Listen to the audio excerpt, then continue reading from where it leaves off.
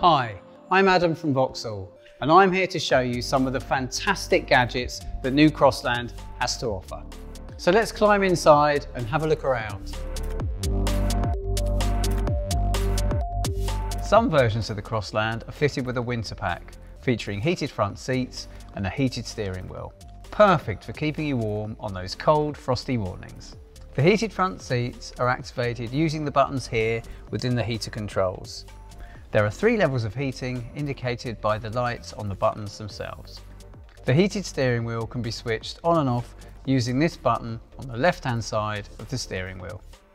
Whilst on the subject of being comfortable behind the wheel, all new Crosslands are fitted with air conditioning as standard. Some models have dual zone electronic climate control, which enable you to set two different temperatures on either side of the cabin. The controls for both can be found here.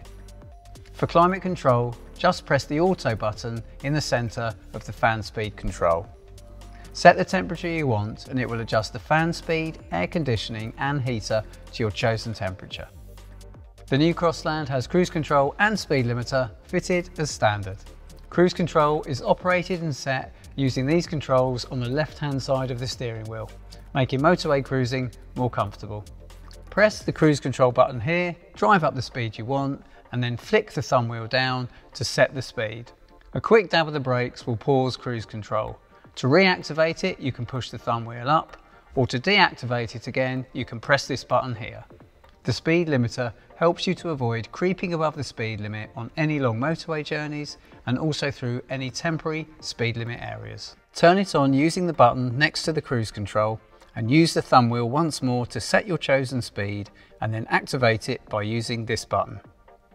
You can pause it by pressing this button and turn it off entirely by pressing this one. The digital instrument cluster is found here between the dials in front of the driver.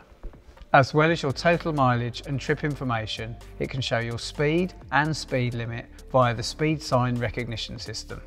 Using the rotary control on the left-hand steering wheel stalk, you can adjust the menu to show your fuel economy, average speed and range. If your Crossland also has satellite navigation, you can see this by selecting it from the menu. Some versions of the Crossland come with rear or front and rear parking sensors, which alert you to any obstacles near the car. Should you wish to, you can turn them on and off using this button here. If your Crossland comes with a panoramic rear view camera, the view is shown on the central display here when you select reverse gear, making parking super easy. The Crossland comes with a number of safety features as standard. There is lane departure warning which provides an audible warning should you accidentally drift out of your lane. Should you wish to do so, you can turn this feature on and off by pressing this button here. There is also a speed sign recognition system which shows a reminder of the road speed limit. It's located here in the driver instrument cluster in front of the driver. For further peace of mind, selected Crossland models are fitted with Vauxhall Connect, which works in conjunction with the My Vauxhall smartphone app. Vauxhall Connect can help you avoid traffic jams or to report a breakdown.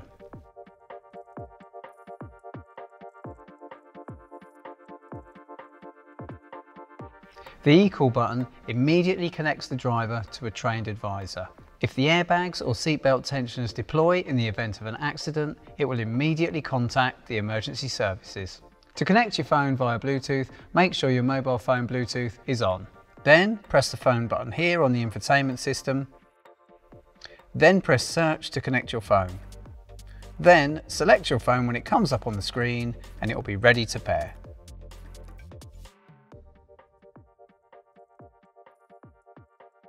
Alternatively, you can search in your phone's Bluetooth menu and search for Vauxhall Crossland.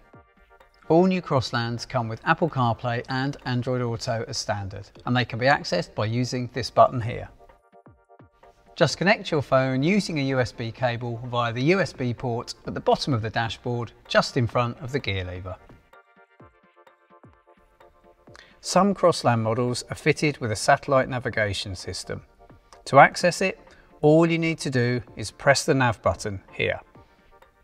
Press the menu button and you're able to enter your destination address or search for points of interest, such as your local Vauxhall retailer, supermarkets, petrol stations or car washes.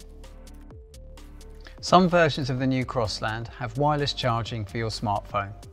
If your phone has this function, to charge it, simply place it on the contactless charging pad just in front of the gear lever. There is also a USB port and a 12 volt socket here for any additional charging needs.